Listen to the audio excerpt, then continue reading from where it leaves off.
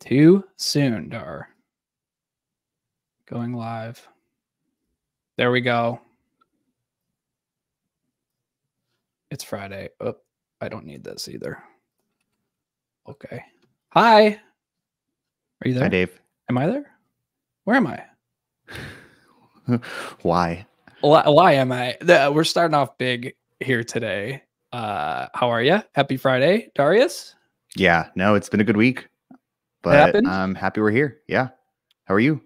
I'm good. I'm good. I uh I'm starting off this stream with uh high hopes for covering a lot of content in this one. Uh, I saw your to-do list and I can't wait. I can't wait. Had- is gonna be a good week. it's gonna be a good week. We had a we had a lot that we covered last week. It got a little hairy at the end. Uh no promises this time around that we're not gonna run into any similar troubles, but I'm gonna do my best here to walk through some kind of complicated stuff and we'll see if we can pull it off. Um but yeah, good week. Uh I'm starting off on a, a YouTube video uh for a reason.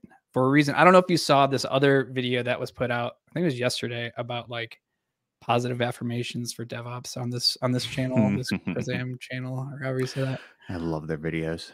Incredible incredible video. Um, i wanted to start off with that video as a demo to like be able to take a look at the the most watched moments of that video and how like what people are finding the funniest parts of it. I think they're like not quite ready yet with the data aggregation and and crunching the numbers on it. So i had to go back in time to look at this senior engineer video which is another incredible one uh, which does have that. And this is like this is kind of what we're talking about today.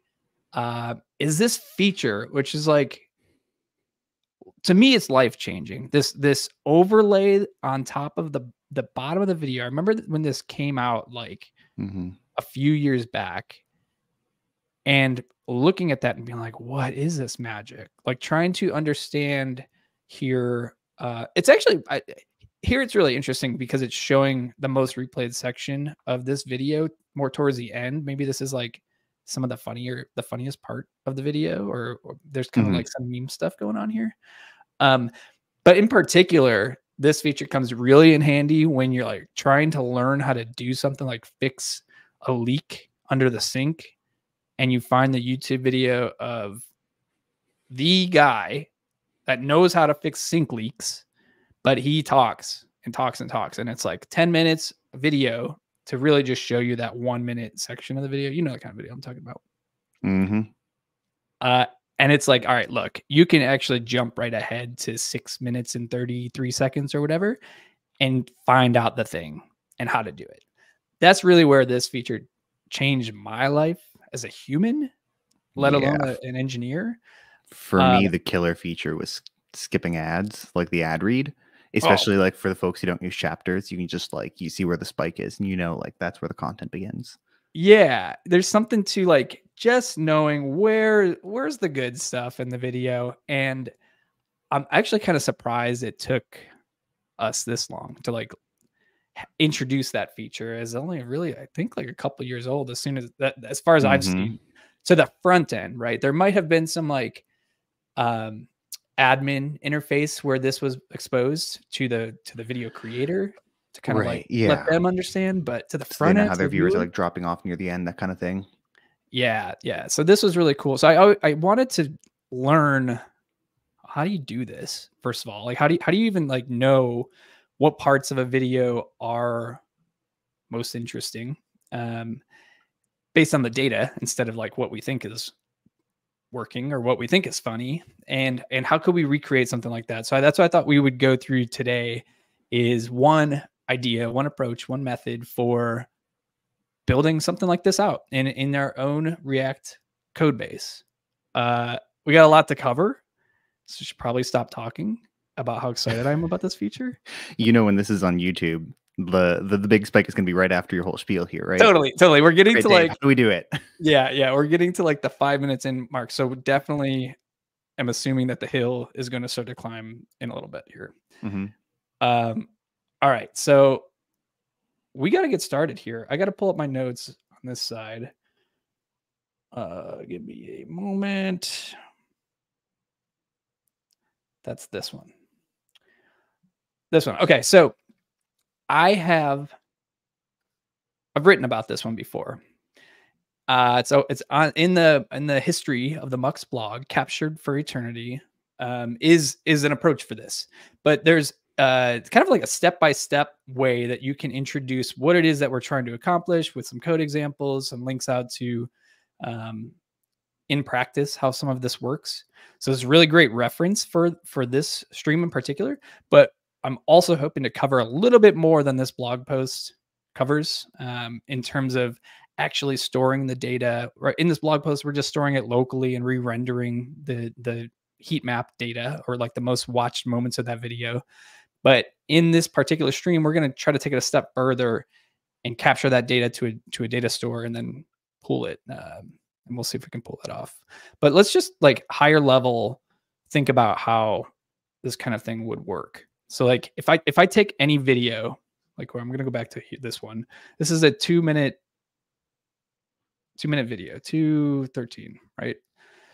So we need to understand like higher level when this video is progressing, when when views are coming in on this video, each individual second contains data of whether or not it's been watched or not. Now, I've been watched. It's raising its hand, or it's or it's kind of waiting its turn, right? And so that I have to show off some of these graphics too that that uh, Mo came up with. Shout out to Mo, our, our designer, uh, on this post, which is really just illustrating that what's happening here. So that in this 10 second video, as the playback progresses, we're seeing an array of basically ones and zeros. Like, yes, I've been watched. This particular second has been watched, or no, I haven't been watched. It's kind of just like chugging through there and flipping that switch of like, yep, yep, yep. And you see that kind of ties right into the playback there. Is it just ones and zeros or oh you're about to answer my question. What happens if I rewind and like rewatch a segment? Yeah, yeah, great question. Not we didn't pre-plant that, but it did, it did feel that way. Dave, uh, I, I promise I read your blog post, but it's been a while. Okay, cool. All right, good. So so what happens if we go back and just replay this video? we want to know that somebody found that part interesting, that somebody wanted, or maybe they were confused there. Like there's some reason why they decided to go back and rewatch that part.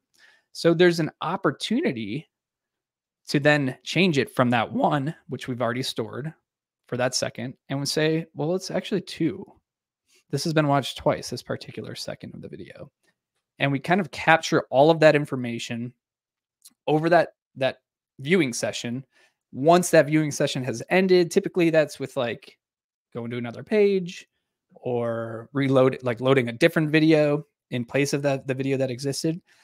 We want to capture that information somewhere. We got to fire it off to to a data store, keep it uh, keep it safe, and then we'll use that information later to kind of like combine it with other playback sessions that have that have come through and uh, render the charts that we're looking for, render the ultimate data. So that's what's happening here in this in this image. We have one green viewing session where that 10 second video was watched. You can kind of visually see like it was watched most of the way, but they dropped off here at the end. And then this blue session, watch the beginning, skip this part, watch the rest of it. And collectively, between those two sessions, we're seeing this like additive uh, motion where we're, we're adding the positions of these indexes right here. This first one, one, one, two, one, zero is one, and so on. So then we're ending up with that data. And then we basically have to take this data and transform it into a visual. Um, so I think we're kind of seeing like how this is going to work, uh, at least in, in practice. But I think we should probably also like build the thing here here live. So yeah, this feels like pretty straightforward in theory, but I'm guessing stuff gets a little hairy in the details. There's there is a lot to consider here, um, but the thing that React has always made me so joyful about ever since I learned it uh, was like that this kind of thing is actually possible. It like I don't even know before React and these sort of like reactive frameworks came about that how I would achieve something like that. Like back in the jQuery days, I, I literally have no idea. Like you'd have to build out a class. Hmm. I, I, I don't even want to think about like tracking mm-hmm. and displaying that in some way. Um, I probably wouldn't do this stream if if if that was the only technology I had available to me because I just wouldn't feel comfortable. Maybe it's come a long way. I, I realize uh, there's a new jQuery four jQuery that's out, so maybe I got to look into that, and that could be our new like uploading with jQuery videos. Uh, Whoa. uploading videos with jQuery. Writing that down.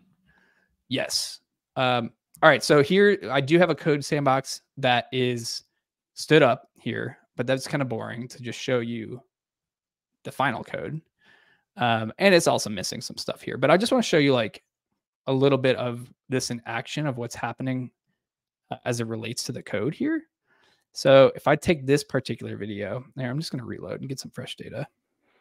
I'll take this video and it's loading up. And as we play through it, I'm capturing the viewing information to second three, second four. And this is a short, pretty short video, 40 seconds.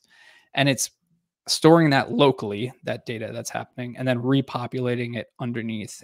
In this part, in this one, this is a rechart um, area chart, which you could like take something like this and then lay it over the bottom of the player. It's just a matter of styling and positioning it.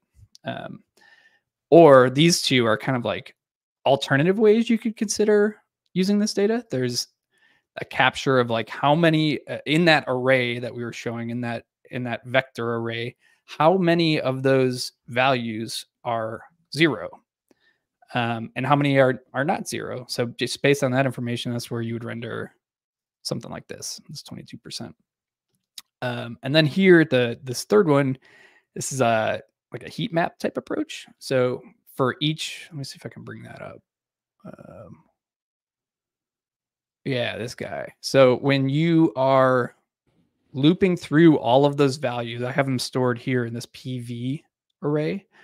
Um, it's basically looking to see like, hey, are you a zero? Are you are you more than a zero? If you're more, then we want to change it to this indigo value, this indigo color. If it's a zero, then we're just gonna womp womp and, and say it's it's gray, it's not watched yet. So it kind of like lays all of those out over time. And then what's happening here is choosing a different darker value or maybe a brighter value, I think, um, based off of if that number is even bigger than one. If it's two, if it's three, if it's four, then it's going to get hotter and hotter and hotter looking as it as it kind of sprays across that the screen size there. So I'll show that too, or like if I want to click back and click play, you see we're starting to get some different colors here. And this is just kind of looping through some Tailwind classes that are automatically rendering the different shades of that indigo that we have available to us based off of our our helpers. I'm surprised that works. I don't think you're allowed to do that with Tailwind classes. Oh, I'm allowed. Like, like a template, like template them out because Tailwind only generates the CSS if like the class exists as a string somewhere in your code. So you're right. There, if you're to like compile this with Tailwind somewhere, you kind of have to like shim it in a way and fake use the these classes somewhere in your app, even if it's just on like a hidden div or right. something, just to like force it to all render. Generate, I think yeah. in this example, I don't remember if I'm just importing the entire library or something just for demonstration purposes, but there was I mean, some way works. that um, it was it was working. Yeah. yeah. Um, but you're right. Like you you would have to make sure that that string. Yeah, I'd probably use like an object like colors, color, and then have like an object of like class names corresponding to shade. But I mean, for the sake of this example, I don't mean to derail you too much. This is interesting. Keep going. Uh, you're not derailing. This is this is like the best way that I could figure out of how to kind of easily brighten and darken the values is is through this. There's probably a lot of different approaches that you can do here, but you can also mm-hmm. see like this hill that we're looking for is starting to form right? Like this is ultimately we wouldn't render it from the local data if we were trying to pull it from the server and the storage uh, that's persisted across multiple viewing sessions but we would get a very similar kind of shape or layout.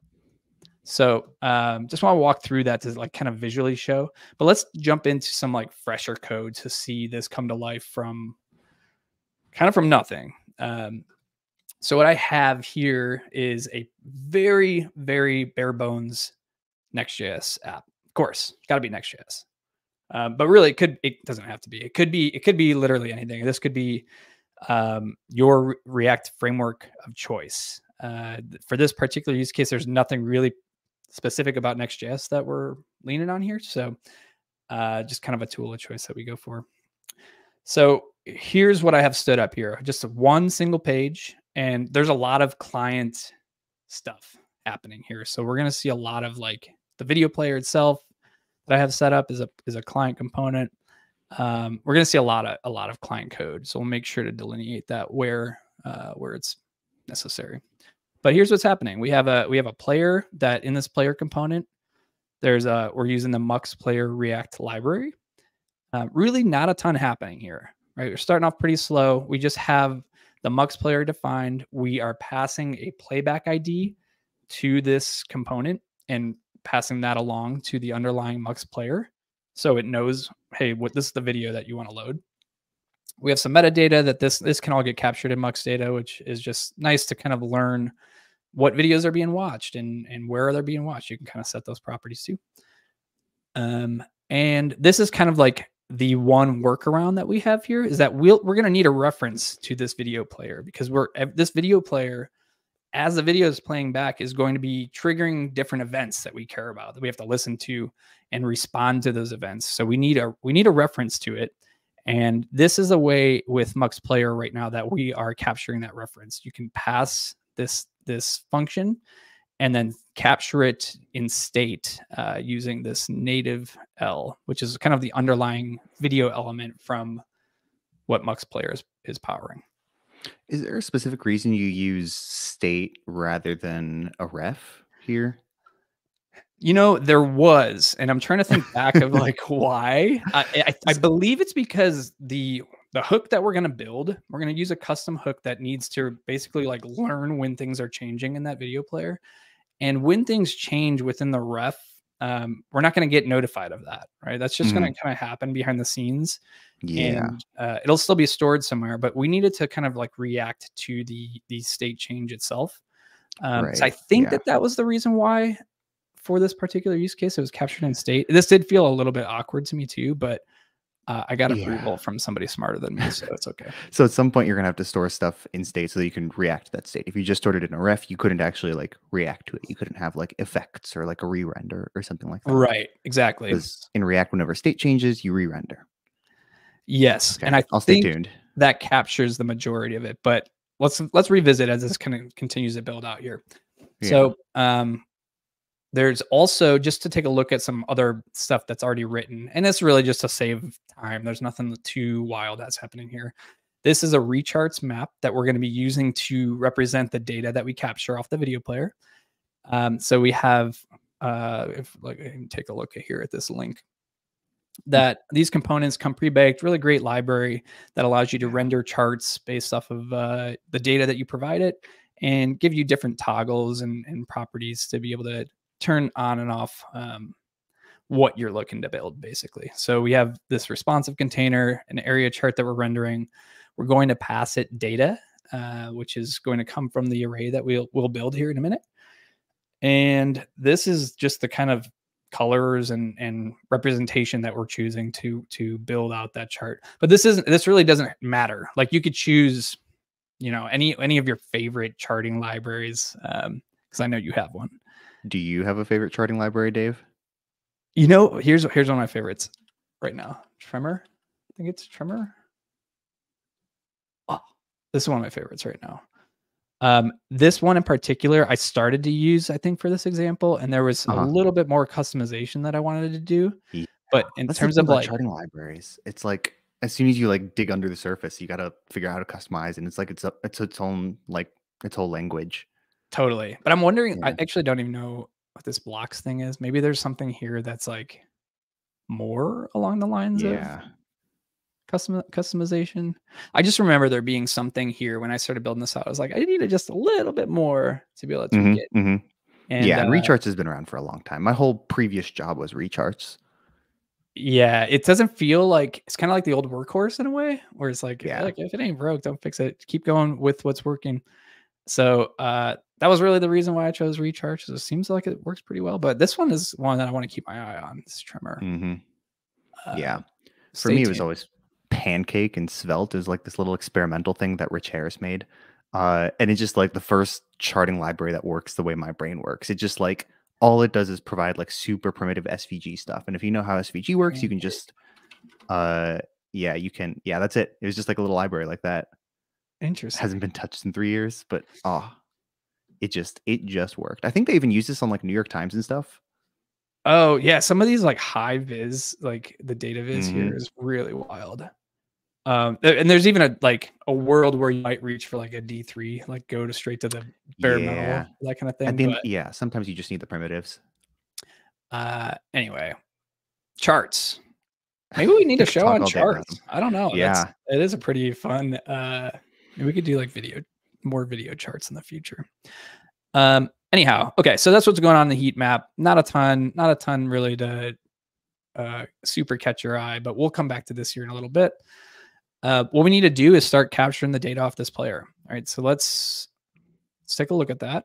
Uh, we got the player, my cool tracker app set up. Videos playing back. So the next step here is we need to build out that hook uh, that's going to capture the data that we are pulling off of the player. And then once we have the data and the viewing session is complete, which I think we could probably mock here um, instead of having to close the window all the time and reopen it, we can sort of like force that data off to the server and capture it. Um, so let's let's take a look at that now. So I'm gonna just build a, a new file here, call it use playback vector. Um, I was choosing JavaScript only for this just because I didn't want to debug TypeScript live. That sounds kind of not so fun. So um, Intimidating. probably would go TypeScript for this, but you know, we'll, Mhm. keep it, we'll keep it simple here. Um, all right, so we have to we have to get going here. So at the if I go back to this blog post here, this kind of show you like just get us started here. Um, we need a hook. We need a hook, and a hook is what? I mean, this I feel like the teacher right now of like prompting the question to the audience. Uh, what's a what's a hook, Dar? Uh, that's a really good question. I mean, I could tell you when I would use a hook. It's like when I want to respond to state in some way, or like kind of just abstract some Reacty functionality away, that like responds to the React lifecycle somehow. You've revealed a huge hole in my knowledge. I feel I literally a don't good know how to describe it. Like I, I feel like I know when to reach for a, a- some kind of custom hook, especially when I want to encapsulate like logic that is all related to uh, the functionality of something specific, and I can just like tuck it away somewhere and pull it in when I need to. Um, but I don't know if that's like the official definition. Uh, that's what I'm going to go with for my definition anyway. Um, so, if, uh, but a hook in general, really, in this case, is just a function. Like, there's nothing super special about what's happening within this hook. At least not yet. It's going to be very special uh, soon.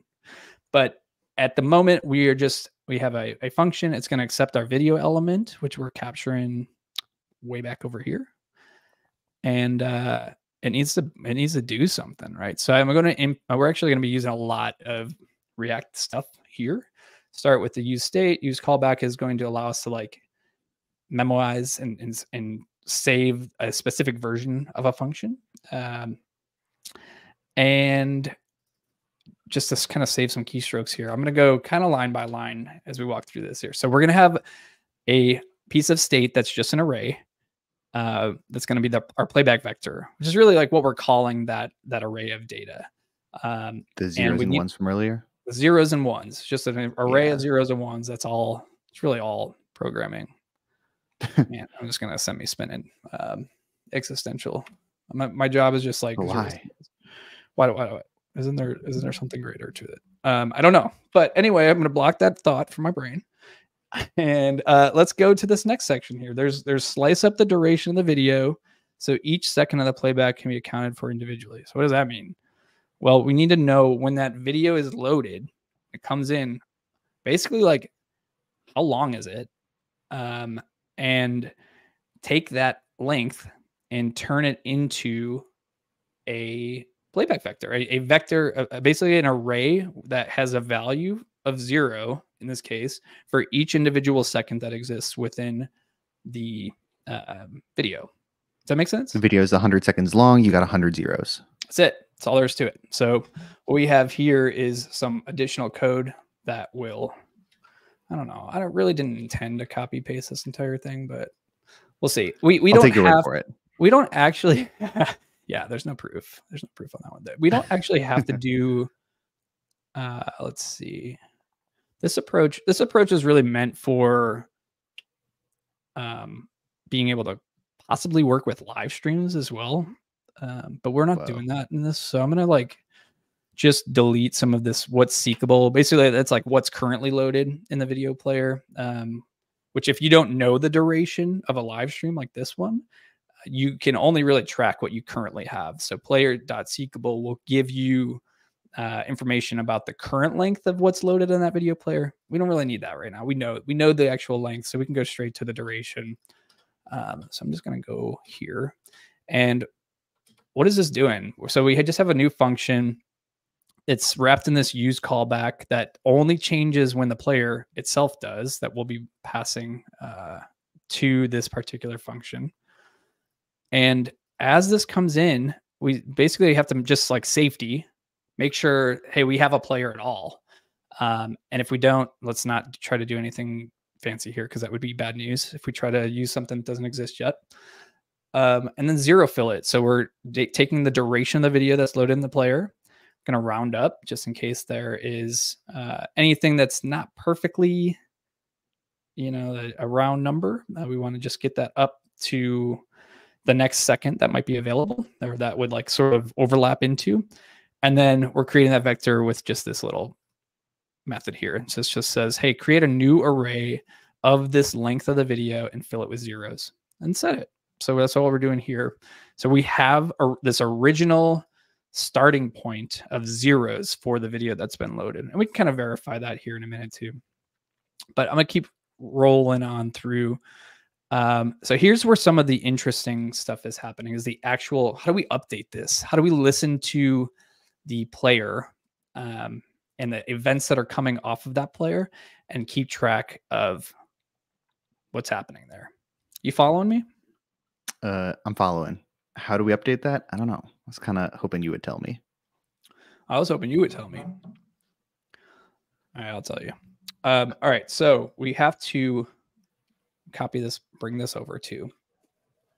We'll walk through this part as well. So we have, we're going to use a ref here, and this is actually the, kind of the opposite for the reasoning that we were describing before.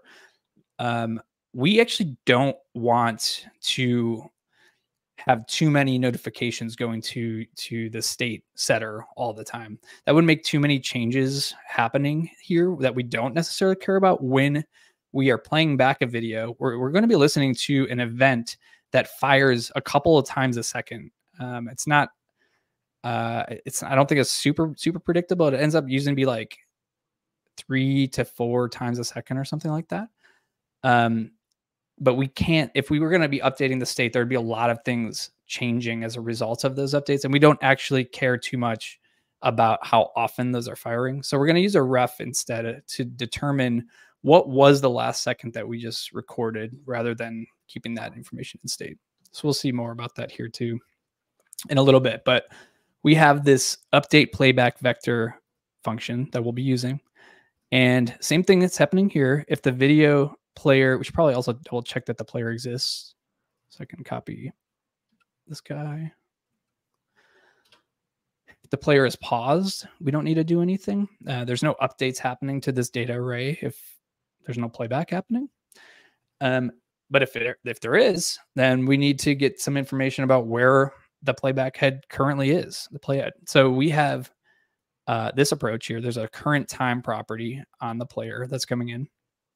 And we're going to access that. We're going to round that down to, hey, this is, if, if we're at like 1.2 seconds, we're still kind of like on that first second here.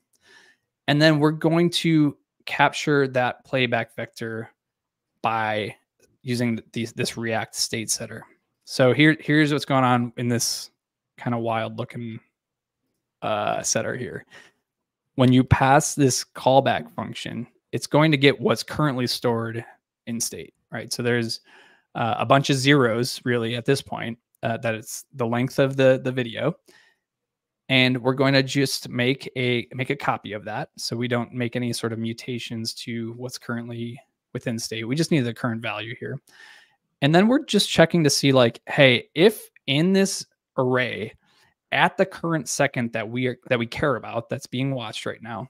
If it's equal to zero, then we should instead set it to one and we'll be updating it with that value. If instead, uh, what's happening here? If the current second does not equal the current second, if the current last second recorded, because remember, this is happening a couple times per second. So we don't always want to update it every single time a new change comes in because we could potentially be updating the same second uh, multiple times, even though it's only been watched once, right, at that particular time. So that's what's happening here. It's kind of like a double check. Did we already update this particular second for this playback? If we did, then don't do anything.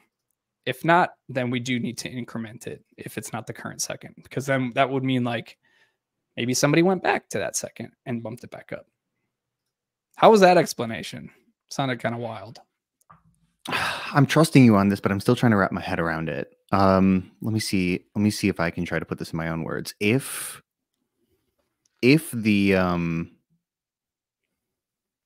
so so we're looking at a value in in the playback vector. We've got like I don't know zero zero zero first seconds second second third second. Let's say the the viewer is watching the very first second of the video. So this code will say if we're on second zero and that value is zero, then we're going to set it to one. That's what this first block does. It goes from zero to one. And the second block here, if okay, so let's say the next time this callback gets called, um, the last second recorded is going to be zero. And let's say current second is zero. So this wouldn't happen either. Yeah, so we wouldn't want called twice in a row for zero. So it just stays like that. Yep. And then once we go to second one, then we update this to 111. And then let's say the person rewinds to the first second. It's no longer the previous second recorded and it's no longer this block. So this code would fire here and that would update to two. Okay. I think I'm getting it. This this lets you this lets you change things from zero to one, one to two, two to three, but it's not going to do that if the same second fires multiple times in a row. So if the event fires a couple times within the zeroth second or the first second. That's right. Yeah, it's trying to do Ooh. its best at like that was pretty good. Uh it's trying to do its best at like maintaining the integrity of the playback session here. There might yeah, be like yeah. some this ability to refactor this a little bit to make just like a plus plus sort of situation. However, um to try to like spell out the conditions here as clearly as possible might even be better at least for somebody like me. Like I like to know mm-hmm. what's happening in each particular condition, even if it means like whatever we write like two more lines of code or whatever. So uh, that's what's happening. Yeah, that's what's happening there. That was a deep and humbling lesson for me when I actually got into software. Like when I got out of school and actually spent a couple years, it was like I used to be all about writing that like really clever one liner with like the interesting ternaries and conditions and stuff. And then after a while, I realized like just write the 10 lines of code. Like, sure, it's not as clever, but at least like it's legible. If I get, you know, murdered by a velociraptor, the person who replaces me at least is going to get what I wrote. I think the person that would follow you would have more questions about the velociraptor. the velociraptor. Uh, but it's possible that they would at least understand what you wrote the code as well. Yeah, at least I would be concerned if I knew that, like, if there was an update in Slack that's like, guys, we got news about Dar. Don't know how this happened. Uh, Uh, no, I mean I've heard it called the bus factor. Like if I get hit by a bus, but I I don't remember who it was. Somebody online, maybe somebody I worked with, said like that's too dark and started calling it the Velociraptor yeah, factor. And I kind of like what? that. I do like that too. I'm gonna I'm gonna try to keep that in the memory bank. Uh, let's cruise on here. So we have we have a Velociraptor theme. Please, Stacy, for this for this particular stream graphics. Uh, we have a playback vector uh, effect here that's happening as well. So I'm gonna copy that. Man, this blog is so nice that you could just click the copy button. Who built that? Wow. Um, they must be really good at programming. Probably totally. really clever code. So what's happening here? So use effect is basically going to run. This is a little bit more about React primitives. I, I almost don't want to try to explain use effect because uh, I feel like I'll get it wrong too. Uh, but what's ideally happening here is that it's only going to run when its dependencies change, right? So if something about the update playback vector function that we wrote up here changes, or if the player changes, then we need to rerun uh, this. But ideally, we're not going to have a ton of changes in this. And um, if the player, like if the player loads a different video, then of course we need to remove an event listener so it's not listening to uh, the same information that it was before.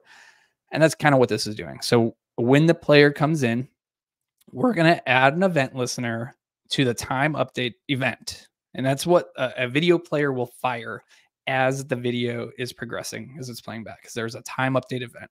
And when that event fires, we need to call this function, this update playback function, this update playback vector function. Um, and then, of course, when this uh, effect stops or needs to be rerun, then we need to remove that event listener and clean clean things up too. So uh, this is kind of like wiring up the playback itself to the function that we need to run that handles the the data setting. How's that? Use effect. I'm I'm following it so far. There's no issue. You're attaching the event listener to the player, and if the player changes, you attach the event listener to a different player.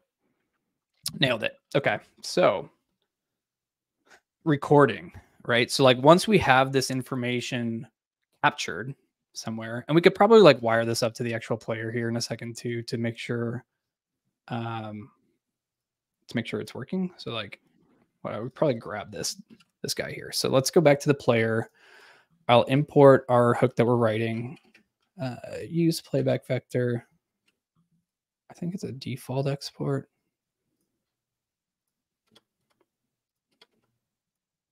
And we're going to pass it that video element here. So that's what's going to kind of register or make this like hook aware of the video that exists outside of uh, its own file contents, right? So let's save, save the playback vector, save the player, and looks like we're getting some error here. You'll be using that in a. Default? Export. Oh, I didn't export it as a default.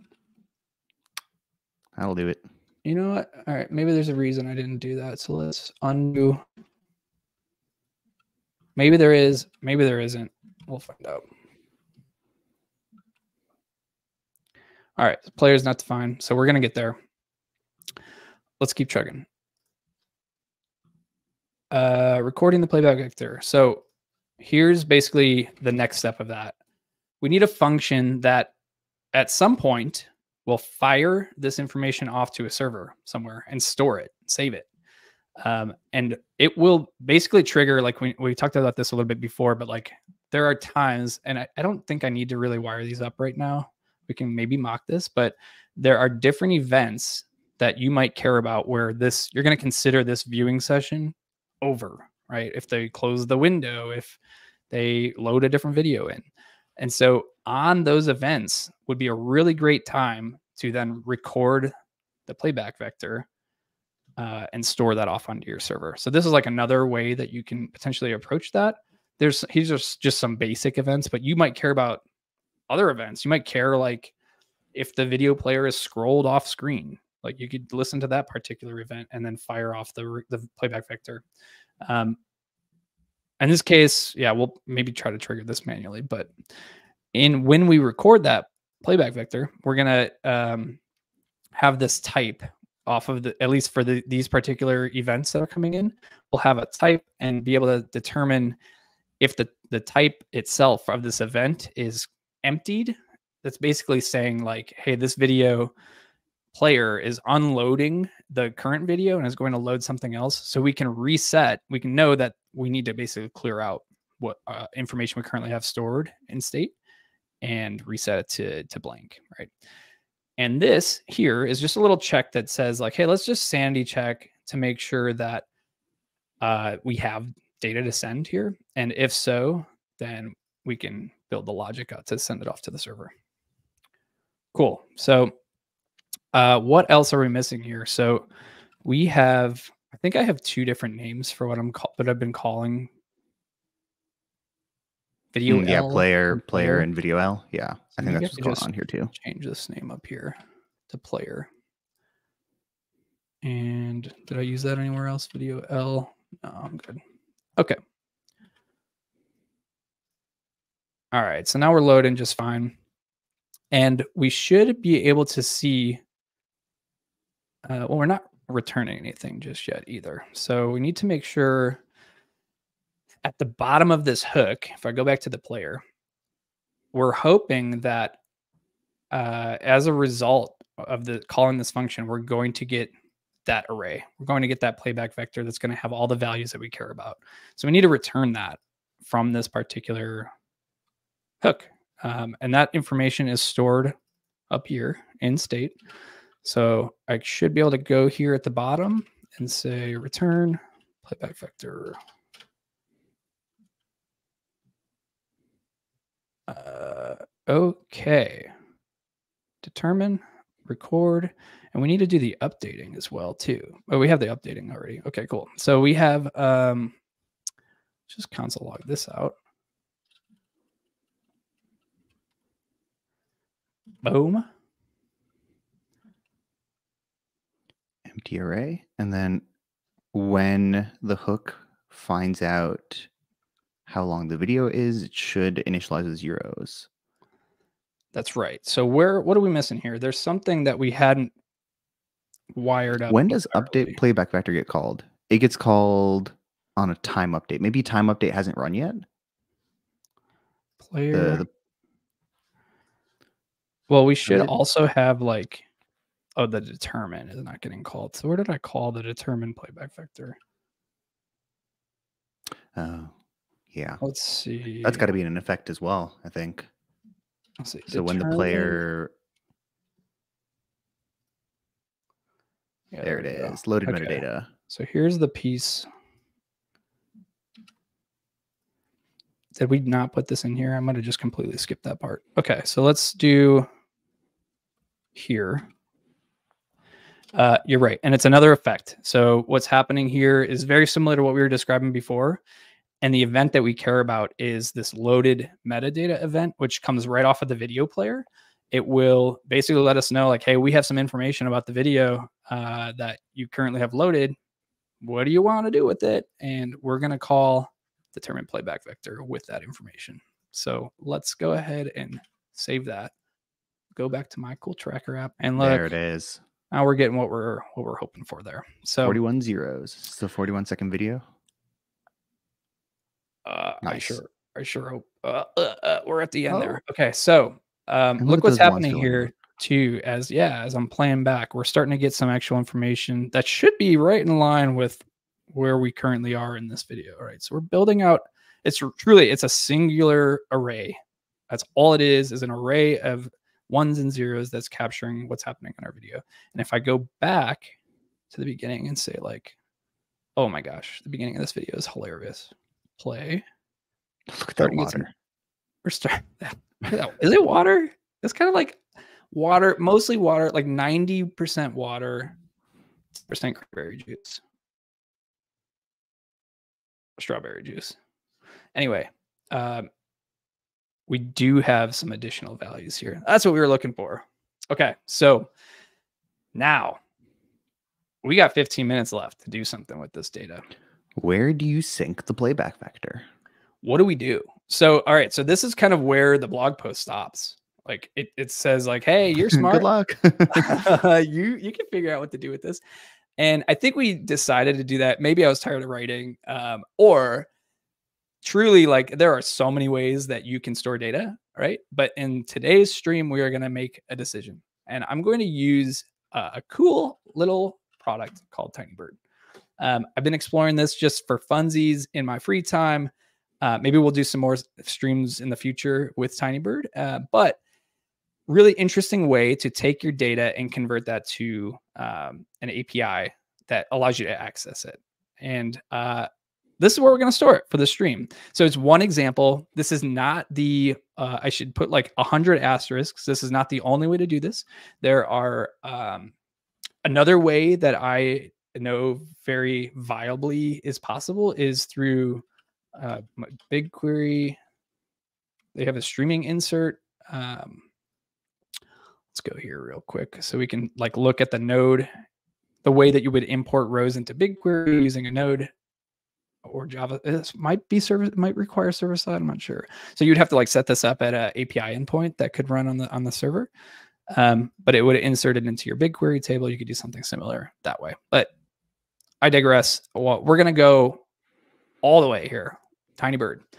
Um, here's the Tinybird admin. I uh, am just really kind of playing around. I don't know the majority of what's happening in here, but what's happening, at least for this particular example, we have a data source, which is kind of our table in a way. I have this events example table, and there's only two columns that we care about. There's the playback ID because we need to know like, hey, I don't want to show the playback vector or the playback information for uh, playback ID uh, XYZ if the video that's being loaded is video ABC. That would be bad news, right? So we need to understand like what information do we need to load, um, and then what are the values that we have for that for that particular playback ID.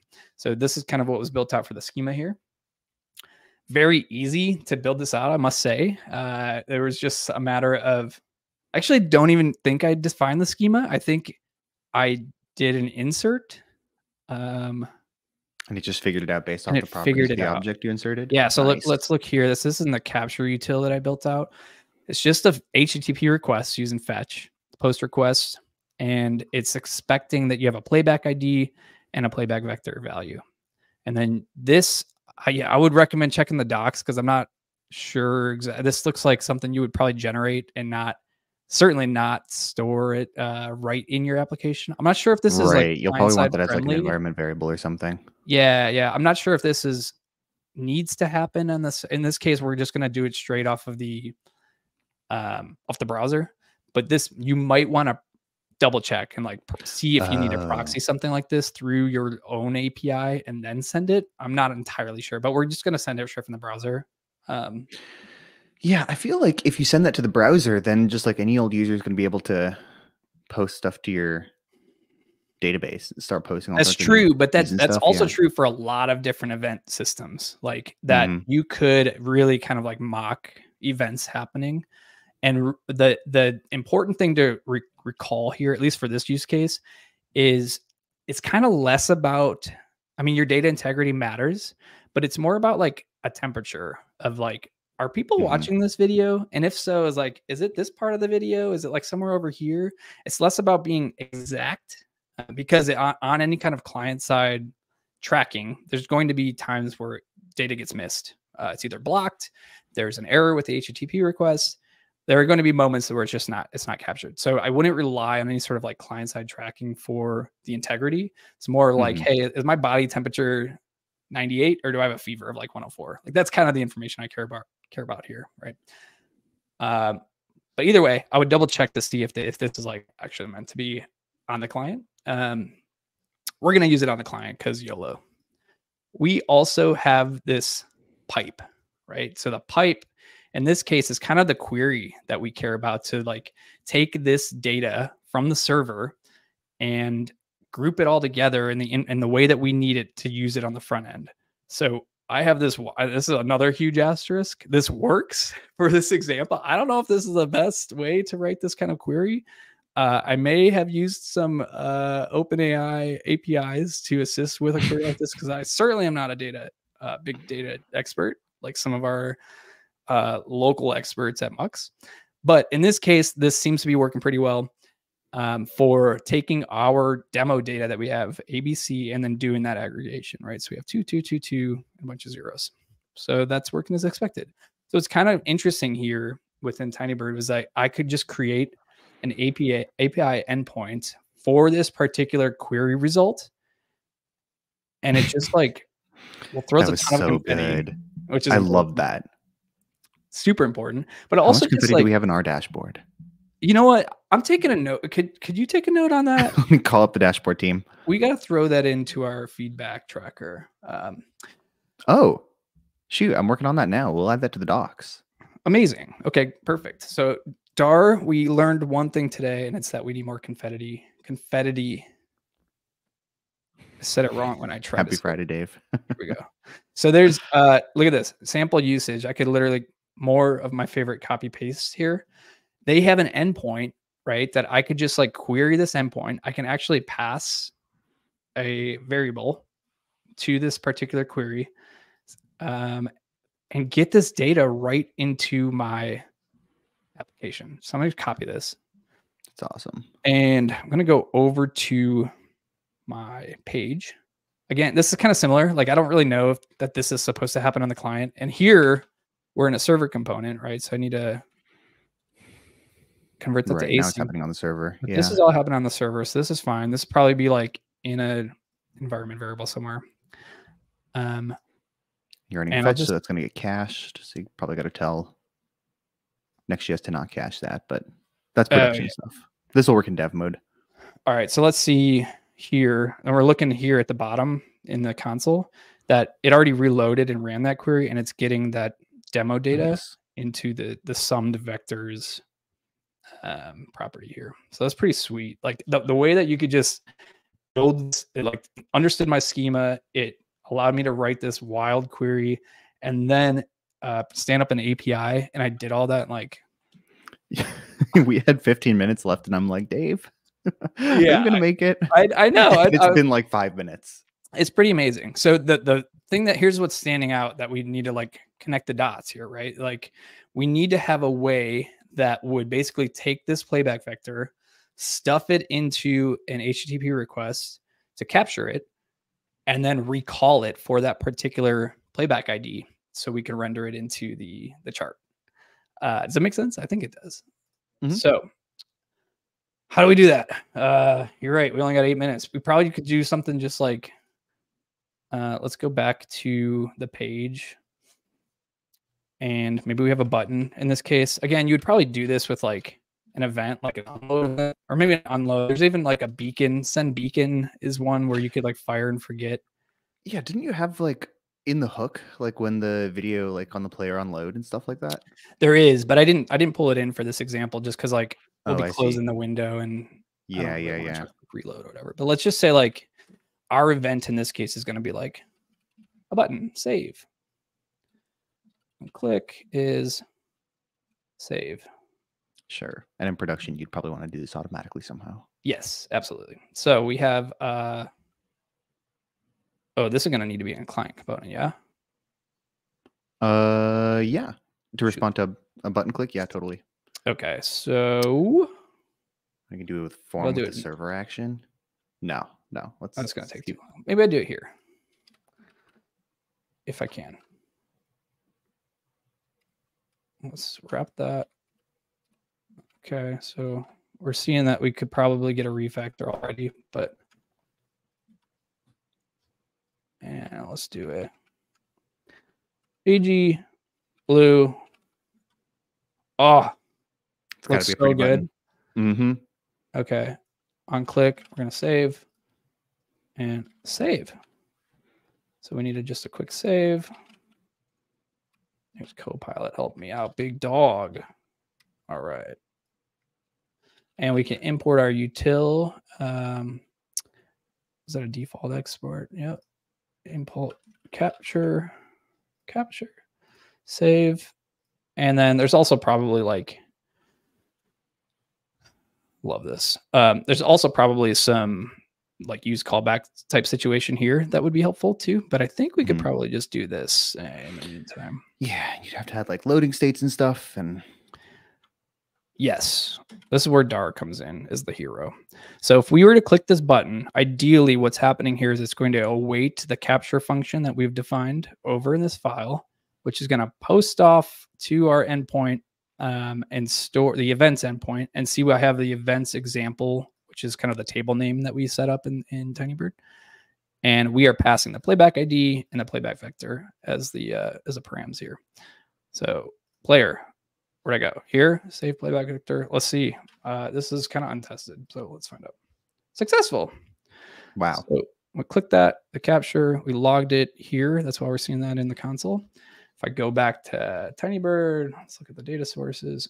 There it is. Oh, perfect. Okay, cool. So let's like, could I reload? Hit play. Let me rack up a view over here too. I think I have access to your environment. Okay, we got some wild stuff happening here. Let's save. Successful, right? Here comes another one.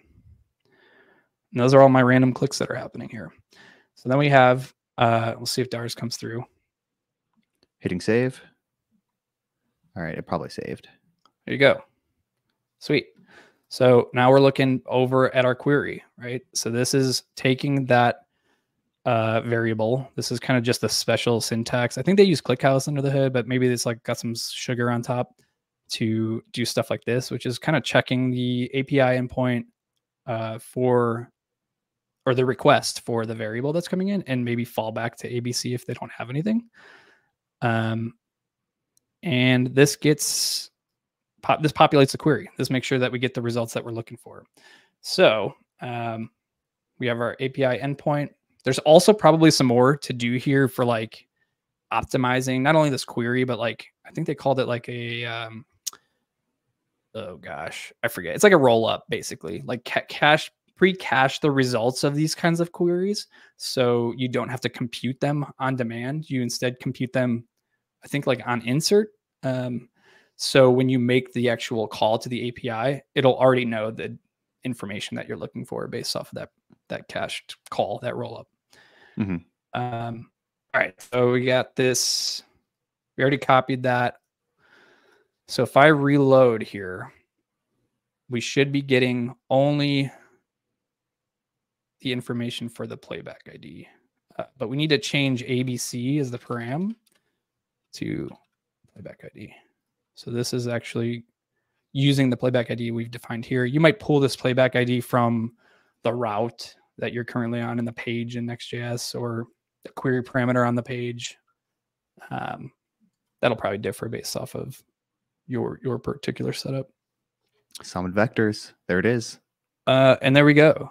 Look, so we're seeing like the math coming in here that this is the playback ID we care about, and those are the vector different data than what we were seeing before. So all there is to it from here uh, in three in three more minutes is importing the heat map.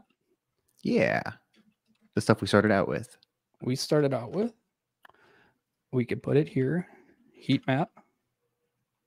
Uh, and then what the heat map accepts is, I think, called PV.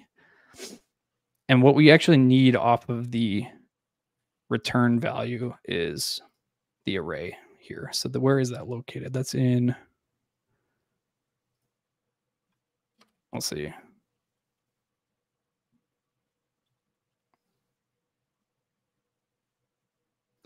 Result data. See, TypeScript TypeScript would be a big fan here, big friend of mine. uh, Console see. log will have to do. Let's see what happens here. There it is. Some vectors. Okay, so data. Uh, that's going to be a zero to access the array, and summed vectors. Let's go. Okay. Does that give us what we're looking for? There it yeah. is. Okay. Const PV equals summed vectors. Let's pass it here. PV. Ah. Oh, there it is. Looks like people are really dropping off after the start of the video, Dave. I look, it's I didn't make the video. After the water saying, starts pouring? I just, thought it was a pretty good video. It only gets better. I think the viewers are missing out. But we should really see, like, if I reload this, this is live. That's awesome. This is live data now. So if we play this and I go to the end and say, you know what, this is the end's the best part. I don't know what you're talking about. Okay. Mm-hmm. Now we have to save it manually here, but again, you would fire that automatically normally. And then I'm going to reload because uh, that information isn't going to auto update. But now we have some information, some data at the end mm-hmm. here. So there we have it, folks. That's awesome. And literally 15 seconds left. Uh, we pulled off a, a lot.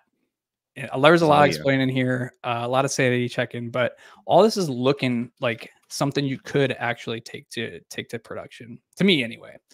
Um, mm-hmm. It's only one way to do it, and again, it, it depends on what the integrity of your data, what your requirements looks like. But for me, in our use case, for this example anyway, pretty cool way to be able to see what's happened in your videos. What do you think, Dar? Any any questions from your side that were outstanding for what we covered? Today? No, I'm a front end dev. I'm allergic to back end. Like anytime a database comes up, just like literal ugh. And like I just love how I'm like we're not sponsored to say this or anything, but like it felt like Tinybird made it super easy. That's I- what I I, liked play with this about my discovery with them too. Is like it just Yeah. seemed like a very simple way to, as a front end engineer, as well, to kind of understand the whole process um, and take that information that we care about, that we need, convert it to an API call, which I'm can do sleeping, like make that request and get the information that we need without like, again, there's like a little bit of an asterisk there with that query, and I would probably like, we have big, big data James internally that I might hit up to like tell me why this is a terrible query but um for our particular use cases seem to work pretty well Mhm. All right we're running long here any last words final thoughts or weekend plans Good stuff. I'm going to go like I'm taking off to go see Dune 2. mm, dune 2 Yeah. lost in new york Glad you didn't go over. all right We're very good uh i appreciate the kind words Dar, and we'll see you Your stream was pretty good too, Dave. yeah I enjoyed uh, it. I I'm sure. I'm sure of it. All right, very cool. Thanks for hanging out and we'll see you next time folks. Bye.